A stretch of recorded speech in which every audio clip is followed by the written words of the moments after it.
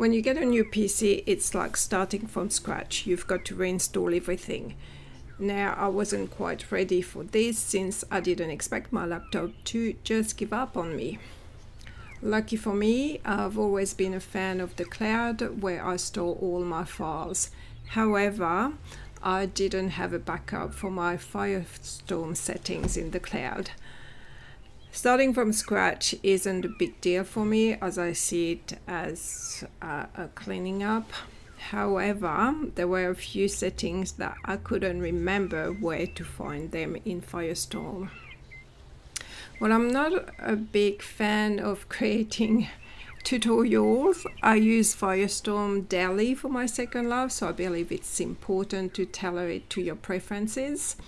It's got a ton of settings which can be overwhelming and uh, some of the setting I was looking for I had a hard time to find them again and if you're new to Second Life, Firestorm is one of the third party viewers as you don't have to use the official one. So don't worry, I am not going to get you through every single settings in, in Firestorm because that would take hours and hours, but there's just a few ones that are important or maybe a few ones that you're not too sure about them. I don't know. Maybe you'll know all of them, maybe not. Um, so let's get right through it, okay? All right, so the first one that I want to get to is the backup. backup and restore tab. That should be the most important one. Do not back up on your PC because you'll be like me. If your PC just decides to die, you don't have a backup. So save it in the cloud or on an external hard drive, USB, whatever, but just do not save it to your PC because that is absolutely useless. Or you can save it to Google Drive, uh, OneDrive from uh, Microsoft, Dropbox, um, just the popular one that you know won't shut down one day, or maybe they will, I don't know but they're pretty secure for now. Okay, then you have the your general one tab, which is pretty self-explained. I like to have my name tags off because I find that it's I don't need to see everybody's name and I know my friend's name so I don't see why I do have to have that. I know there is that setting show briefly, which which means that the name will appear for a set of time, then disappear, which was a tip from Kira. But it reappears as soon as you change your view. So if you turn around away from that person and then you turn back, the name will reappear. So I found that quite annoying. So I just like to turn it off. There's nothing really that I can think of in this window that would be of interest. If you don't know, sometimes you'll hear uh, in a public space someone typing that's probably because one person hasn't turned off their typing animation. I mean usually if you've got a good AO it has that automatically overriding it but if you're making your own AO you may have forgotten or maybe you want us to hear that you're typing.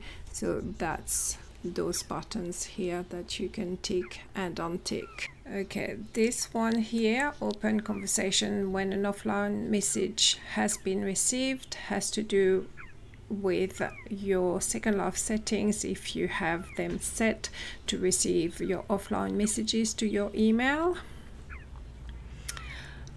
Personally, I do not like receiving note cards because a note card you have to log in to read it. When people can ju just message you and it goes to your email and your email you can read them at any time, anywhere. To me, it is much more manageable than having to log in. Uh, I can respond much quicker and deal with the situation accordingly. So when you log back in, if you have that tick, it will have all the messages that that person has sent you while you were offline without your responses, which to me is a bit useless because we've already talked about it through email so i don't really need to have an offline message um, waiting for me with questions um, that we I've already dealt with and I have in my emails so I like to keep that unticked on the subject of typing this one here is the same as when um, you can see someone typing uh, an instant message this one will it's uh, it works in uh, local chat and you will see a bubble on top of the head of the avatar that will have the dot indicating that they are typing a message. I like to have that on. Graphic is a big one. I'm using the Firestorm beta for the PBR because I love PBR it will look a bit different. This one it all depends on your uh, computer how good your computer can handle graphics. So you may have uh, your performance there the quality and speed down. Uh, draw distance as well will help. I like to have mine high because I like to see my surrounding. I mean this this is my house. Oh my my camera is moving a little bit too fast. I can fix that later. But I like to see this. Now if I change the draw distance this is boring. To me is missing out on second life so that's why I always have it high. But I do understand when you have a low-end computer or when I was on my Mac it was difficult to to do that. Another thing you can do as well is set different presets with your graphics. I mean obviously when you are in a shopping event you don't need to have the draw distance as high. So you may remove um, ambient occlusion advanced lighting model atmospheric shaders and local light you might not have that ticked and all the shadows. This if you on lower that would change as well. And then you so you can save different settings. The sound tab sound tab I I was surprised that I, I have a few people who just don't turn their sound on at all. Some sounds are louder, so sound effect. The birds are overtaking, which actually it's pretty quite true here in Australia. That's exactly how they sound. Uh, so for the video I did turn them down a little and you can do the same for the music this is the sound which this one is big one because some of the sound I just do not want to hear but I haven't had a chance to go through all of them to check it's just a big list I just can't be bothered. Would be good if they had a button on take them all. And then you can just go and take them one by one when you there's quite a few to go through. Depends how you like to view yourself. Yeah the angle I usually do play with that. Because I like to see my whole avatar when I, and I found it is easier to to actually walk. Disable camera constraint. That's a big one especially if you do pictures. That mean that you can just move far and far away. Anywhere really. If you don't take that you can't do that. You're just stuck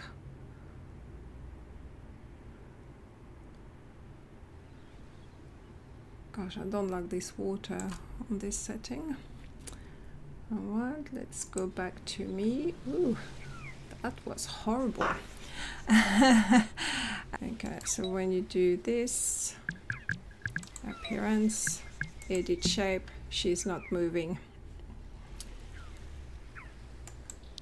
If you do this if you tick it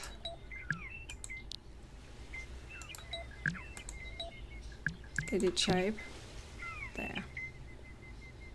Okay so when you see people doing that that's mean they're editing their shape so if you untick it you're just going back to a normal but nobody knows you're editing your shape. Click your avatar. Keeps your camera position. Yes I do like this because otherwise she's always moving. When you do a picture and you you touch something you want to move an object and um, it will she, she will move out of a positions sometimes I don't use poses. This is what look at targets are. Those um, crosshair there okay and Ziffy is actually this is my alt by the way. As you can see she needs works but I don't use her enough to do anything. So she's looking at my profile so that's how you know that someone is looking at your profile. And that's by ticking show look at targets here. If you don't want to see you just untick it if you don't want anyone to to know that uh, you're looking at them you just yeah tick those uh, auto responses is if you use your um, online status here. You can have an auto respond and uh, just make something personal. Interface don't really do much here. There's just that one show hover tips I want to know their name I can just hover over them and it will tell me their name and their group. You can do that on furniture as well. It tells you what it is. So if you want to turn that off then you don't see anything anymore.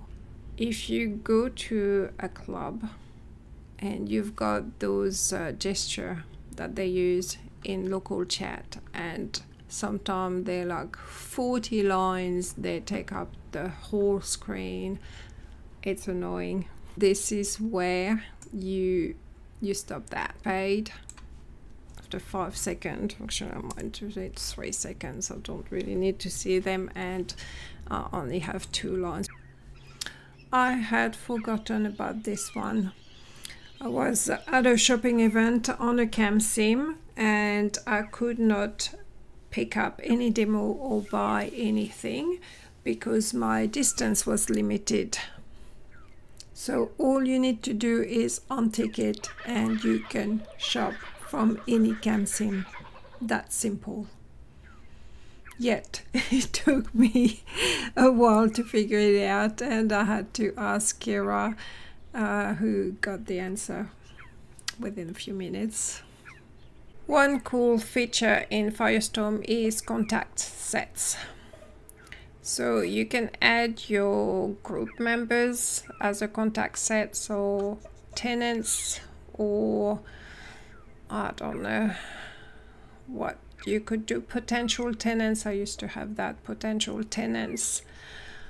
Um, it's probably more useful for businesses really or if you have like a public space you can add your whole group for example um, you can set colors so that means that if you have your nearby window on, you can see per color. So you know that purple is your group. Uh, if the text is bold, it means they, they are friends. And uh, if uh, they are a different color, it could be your tenants. And you can just select a few, for example. Um, and um, you know, do a conference. I think it's a pretty cool feature. It has its purpose, but it's not for everybody, obviously. But the cool thing is you can add anyone. You don't have to be friends to be added. Thank you for watching. If you made it this far, I hope it wasn't too excruciating. This is not the kind of video I enjoy doing, but I thought it was important to mention it because uh, sometimes we just forget to back up. So just in case something happens uh, with your computer, don't forget to save your settings and anything else on an external drive If you have any tips to share, please uh, write them down in the comments below and I shall see you in my next video next week. This is Prisqua Newall from Second Life Spectrum. Bye for now.